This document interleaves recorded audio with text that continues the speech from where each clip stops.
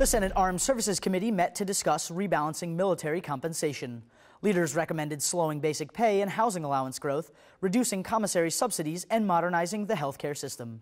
Admiral James Winnefeld said there is disinformation about these changes. Some say we're cutting pay. That's not true, as Chairman Dempsey said. We quickly eliminated any proposal, such as reducing the overseas COLA, that would do that. Others say we're trying to renege on promised health care benefits.